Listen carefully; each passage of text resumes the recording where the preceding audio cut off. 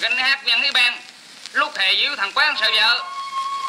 Đó từ à, ngày mà tôi lập cái quán này cho đến bây giờ nó cho phải. Cũng là nhờ có quen nhiều người nên buôn bán cái kha một chút. Cũng nhờ có quý khách lầm mà quen.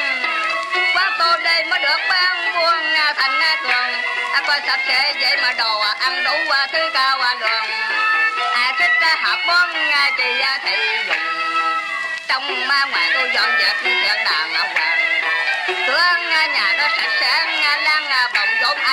ai thấy cái quán tôi đây không có gì được cả mà.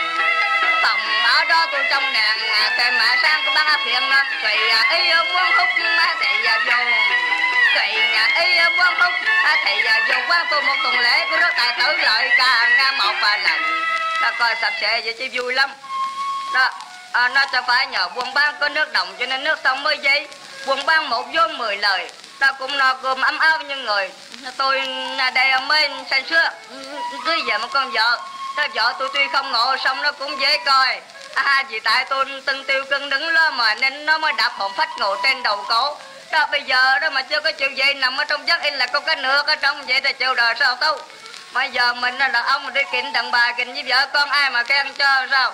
Tôi giờ vậy sớm lo bóng phận mình là ông việc lo sửa sang đồ được còn còn hết đặng mà đi chợ chứ. Thế coi thế coi coi đồ ăn món nào còn hết. Sửa chợ rồi tôi đây đến tôi sẽ mua, mua hành à, tiêu tỏi ớt với à, dừa à phải là để mua gạo ba thác gà vịt.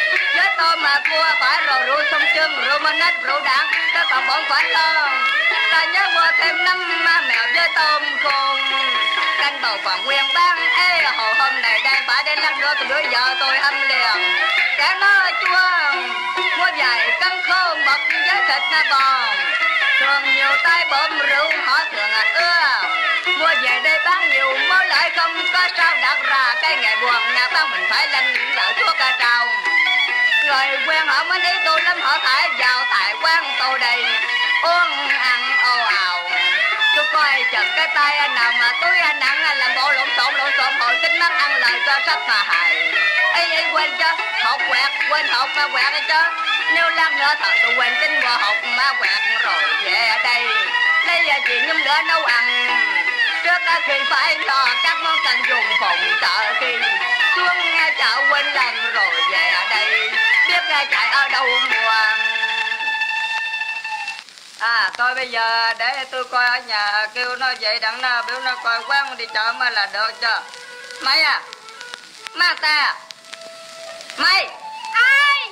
Coi vậy chứ trời đất ơi chừng này mà nằm dài sống ở trong ngộ chứ nè ông nội làm gì kêu gì không kịp tao ơi hỏi vậy trơn trụi vậy. Chứ trời đất ơi chứ chừng này là 10 giờ rồi mà nằm ở trong không sợ măng sâu làm sao vậy? Ta khổ trời đất ơi 10 giờ mà chưa có đúng giờ mà dậy nữa sao mà ra mà làm quạt quỷ thần với mà nghĩ cái buôn bán mà tính ở không bộ vợ ba hộ sao ở không nằm ngửa đâu mà ăn ngủ cho trưa? Bá hộ gì? Ban ngày gì bắt ta mần không có hở tay. Tối vậy rút ở trong nách ta nhọn chết. Bẩn miệng gì? Mà bằng chừng này cái kêu kêu thức dậy với ai mà chịu cho nổi không à nè. Chà, trời đất ơi. Ai coi mất cái giấc ngủ nó rồi.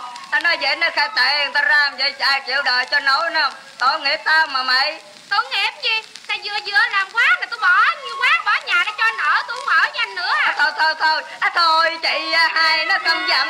Rồi mà làm chi vậy cả?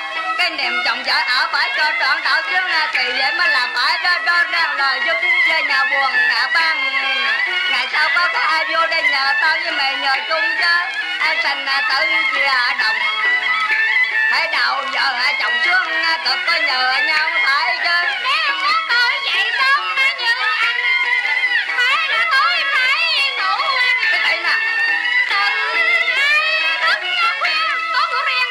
Trời đất ơi giờ mà nói gì nói đời ngủ riêng mà thấy tánh ta nhát ta sợ ma rồi đời ngủ riêng mà kỳ quá lạ quá vậy.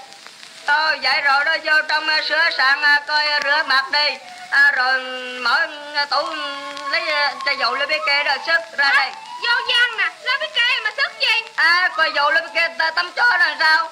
Ta tôi ở nhà đó nha coi quán đó ta đi chơi à tôi ngồi à tay à, đây bữa đừng đi à, đâu qua sợ cái giam họ đang vào phòng có thấy vợ chồng mình qua đỏ nó có mà cầu.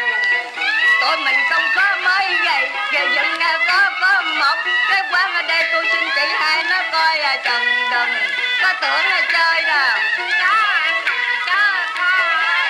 qua sách vở đi nga bông, xuống miền chợ đông trường qua liệu mua đồ xong siêu rồi qua cũng lòng còng chạy về.